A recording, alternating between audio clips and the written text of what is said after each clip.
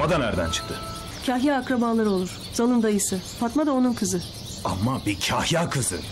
Eşi yokuşa sürme Mahmut. Zilan aşiretinin gözdesi bir kız. Üstelik güzelmiş. Benim dengim değil.